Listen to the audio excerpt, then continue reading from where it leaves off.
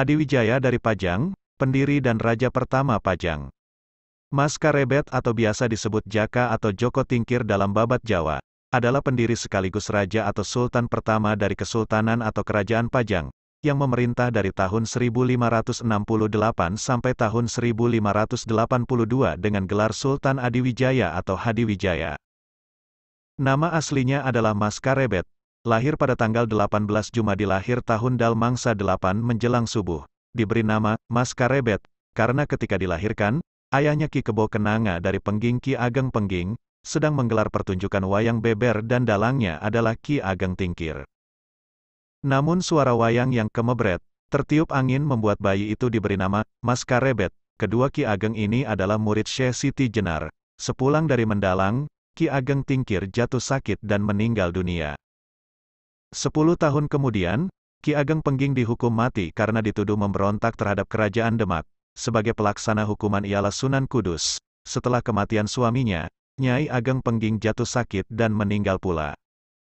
Sejak itu, Mas Karebet diambil sebagai anak angkat Nyai Ageng Tingkir atau janda Ki Ageng Tingkir. Sejak saat itu masa remajanya lebih dikenal dengan nama Jaka Tingkir. Mas Karebet gemar bertapa, berlatih bela diri dan kesaktian, sehingga tumbuh menjadi pemuda yang tangguh, tampan dan dijuluki Jaka Tingkir. Guru pertamanya adalah Kebo Kenongo atau Ki Ageng Pengging ayahnya sendiri, dan Muhammad Kabung Suan atau Ki Ageng Pengging Sepuh, kakek Adiwijaya. Ki Ageng Pengging Sepuh ini adalah anak bungsu dari Syekh Jumadil Kubro. Tapi jalur spiritualnya menuju ke Syekh Siti Jenar. Selain ayah dan kakek, ia juga belajar dengan kakek dari ibu, yaitu Sunan Kalijaga.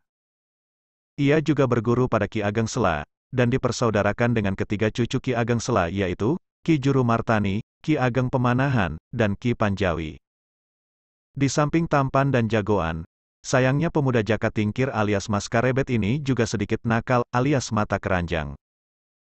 Jaka Tingkir kemudian berguru pada Ki Ageng Banyu Biru atau Ki Kebokanigoro, saudara tua ayahnya, kakak mendiang ayahnya, dalam perguruan ini ada murid yang lain, yaitu Mas Manca, Mas Wila, dan Ki Wuragil. Joko Tingkir putra dari Ki Kebo Kenongo, putra dari Ki Ageng Pengging Sepuh atau Andayaningrat atau Jaka Sengara atau Muhammad Kabung Suan, putra dari Syekh Jumadil Kubro atau Jamaluddin Akbar Al-Husaini. Ayahnya, Kebo Kenongo menikah dengan Nyai Ratu Mandoko Putri dari Sunan Kalijaga, dengan Syarifah Zainab binti Syekh Siti Jenar, sedangkan kakeknya, Andayaningrat menikah dengan Ratu Pembayun Putri dari Prabu Brawijaya kelima Raja Majapahit.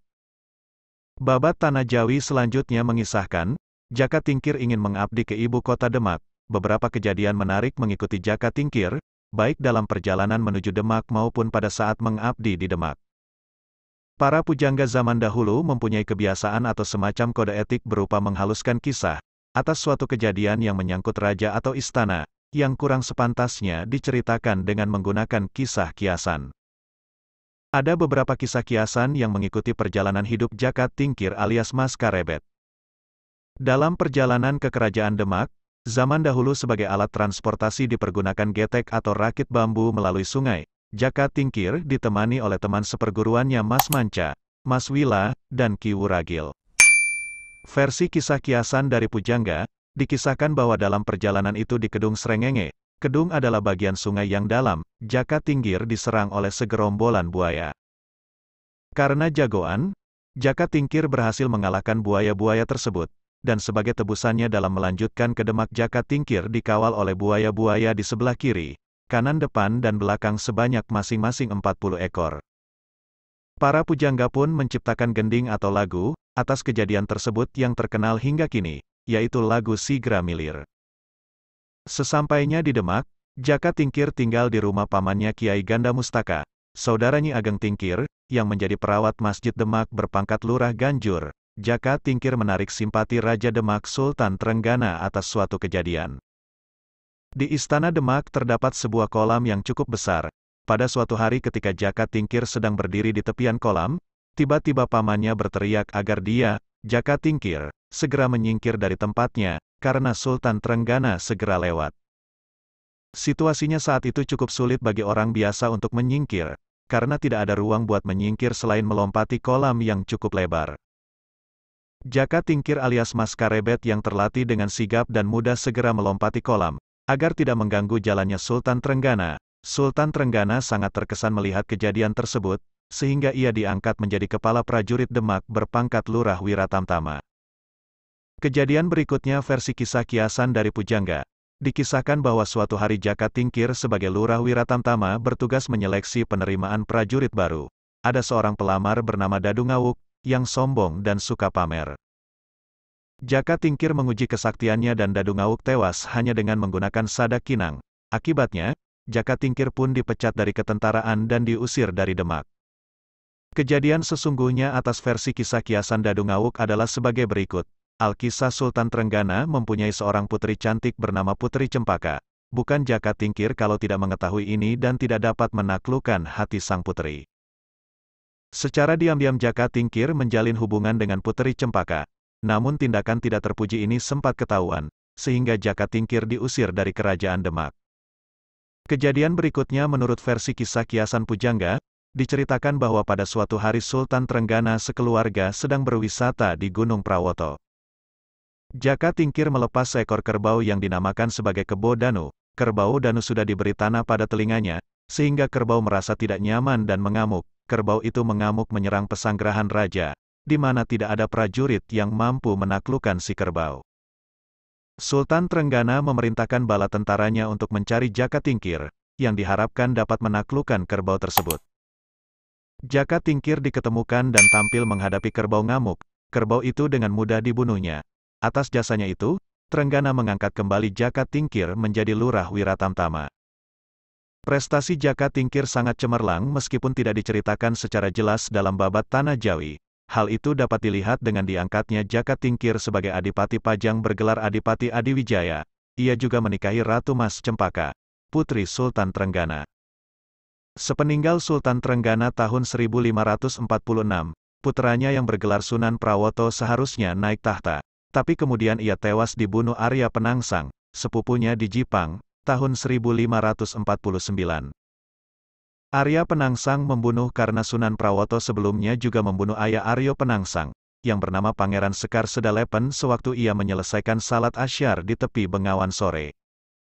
Pangeran Sekar merupakan kakak kandung Sultan Trenggana sekaligus juga merupakan murid pertama Sunan Kudus.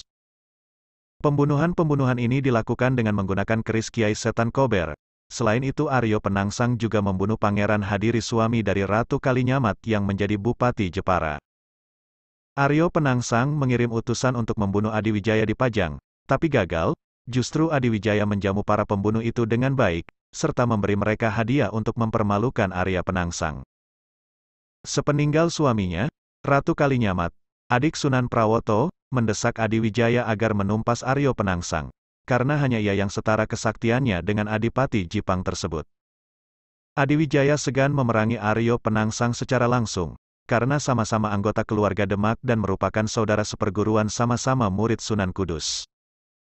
Maka, Adiwijaya pun mengadakan sayembara, barang siapa dapat membunuh Aryo Penangsang akan mendapatkan tanah pati dan mentaok atau mataram sebagai hadiah. Sayembara diikuti kedua cucu Ki Ageng Sela, yaitu Ki Ageng Pemanahan dan Ki Panjawi. Dalam perang itu, Ki Juru Martani, kakak ipar Ki Ageng Pemanahan, berhasil menyusun siasat cerdik. Sehingga Sutawijaya, anak Ki Ageng Pemanahan, dapat menewaskan Arya Penangsang, setelah menusukkan tombak Kiai Pleret, ketika Aryo Penangsang menyeberang Bengawan sore, dengan mengendarai kuda jantan gagak rimang.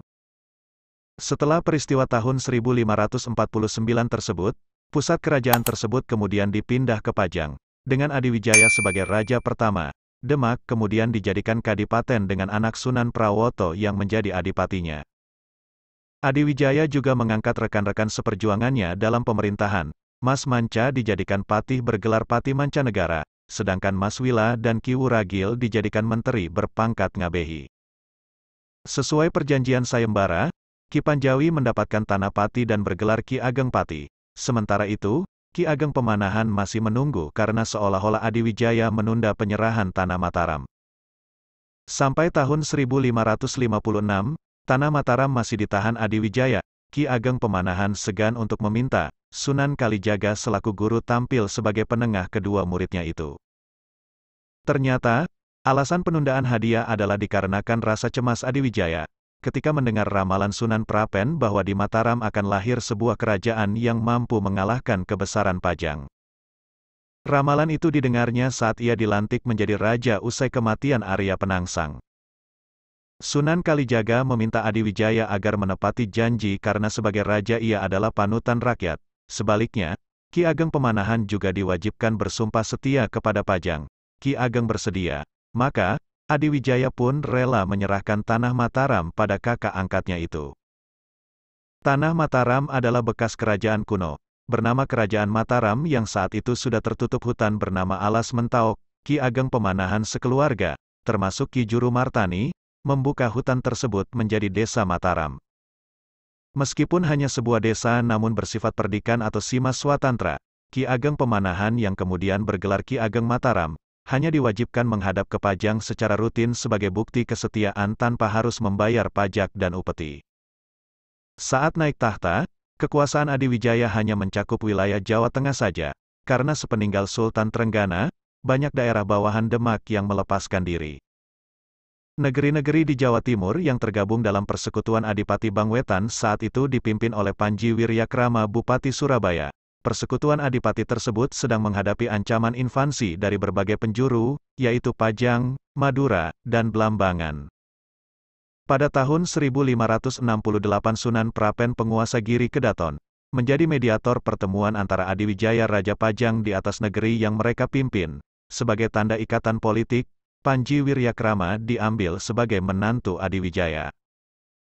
Selain itu, Adiwijaya juga berhasil menundukkan Madura setelah penguasa pulau itu yang bernama Raden Pratanu bergelar Panembahan Lemah Duwur Arosbaya menjadi menantunya. Dalam pertemuan tahun 1568 itu, Sunan Prapen untuk pertama kalinya berjumpa dengan Ki Ageng Pemanahan, dan untuk kedua kalinya meramalkan bahwa Pajang akan ditaklukkan Mataram melalui keturunan Ki Ageng tersebut. Mendengar ramalan tersebut, Adi Wijaya tidak lagi merasa cemas karena ia menyerahkan semuanya pada kehendak takdir. Sutawijaya adalah putra Ki Ageng Pemanahan yang juga menjadi anak angkat Adi Wijaya. Sepeninggal ayahnya tahun 1575, Sutawijaya menjadi penguasa baru di Mataram, dan diberi hak untuk tidak menghadap selama setahun penuh. Waktu setahun berlalu dan Sutawijaya tidak datang menghadap, Adi Wijaya mengirim Ngabehi Wilamarta dan Ngabehi Wuragil untuk menanyakan kesetiaan Mataram. Mereka menemukan Sutawijaya bersikap kurang sopan dan terkesan ingin memberontak. Namun kedua pejabat senior itu pandai menenangkan hati Adi Wijaya, melalui laporan mereka yang disampaikan secara halus. Tahun demi tahun berlalu, Adi Wijaya mendengar kemajuan Mataram semakin pesat. Ia pun kembali mengirim utusan untuk menyelidiki kesetiaan Sutawijaya, Kali ini yang berangkat adalah Pangeran Benawa, putra mahkota, Arya Pamalat, menantu yang menjadi Adipati Tuban, serta Patih Mancanegara. Ketiganya dijamu dengan pesta oleh Sutawijaya. Di tengah keramaian pesta, putra sulung Sutawijaya yang bernama Raden Rangga membunuh seorang prajurit Tuban yang didesak Arya Pamalat. Arya Pamalat sendiri sejak awal kurang suka dengan Sutawijaya sekeluarga.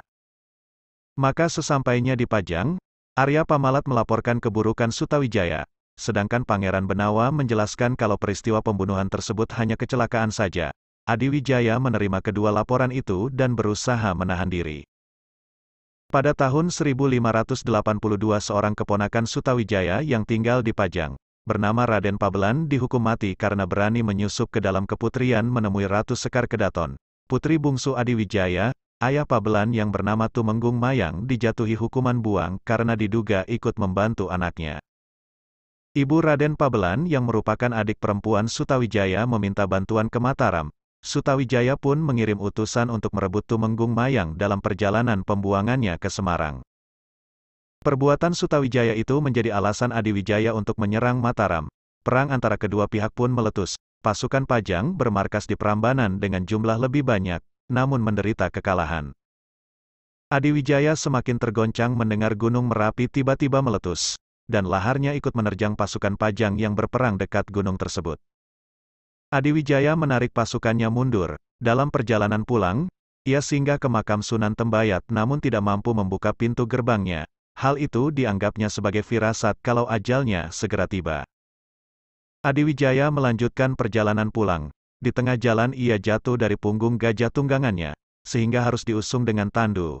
Sesampai di Pajang, datang makhluk halus anak buah Sutawijaya bernama Ki Juru Taman memukul dada Adiwijaya, membuat sakitnya bertambah parah. Adiwijaya berwasiat supaya anak-anak dan menantunya jangan ada yang membenci Sutawijaya, karena perang antara Pajang dan Mataram diyakininya sebagai takdir. Selain itu, Sutawijaya sendiri adalah anak angkat Adiwijaya yang dianggapnya sebagai putra tertua. Pada cerita rakyat dinyatakan bahwa sebenarnya Sutawijaya adalah anak kandung Adiwijaya bukan anak Ki Ageng Sela. Adiwijaya alias Jaka Tingkir akhirnya meninggal dunia tahun 1582 tersebut. Ia dimakamkan di desa Butuh, yaitu kampung halaman ibu kandungnya. Adiwijaya memiliki beberapa orang anak, putri-putrinya antara lain dinikahkan dengan Panji Wiryakrama Surabaya, Raden Pratanu Madura, dan Arya Pamalat Tuban. Adapun putri yang paling tua dinikahkan dengan Arya Pangiri Bupati Demak. Arya Pangiri sebenarnya adalah anak Raja Demak Sunan Prawoto, yang seharusnya memang Arya Pangiri sebagai penerus garis suksesi Sultan Demak dahulu. Putrinya yang bernama Gelampok Raras menikah dengan Panembahan Ratu pertama dan menjadi permaisuri Cirebon. Arya Pangiri didukung Panembahan Kudus. Said Amir Han, pengganti Sunan Kudus untuk menjadi raja, Pangeran Benawa sang putra mahkota, disingkirkan menjadi Bupati Jipang. Arya Pangiri pun menjadi raja baru di Pajang dengan nama Tahta Ngawantipura.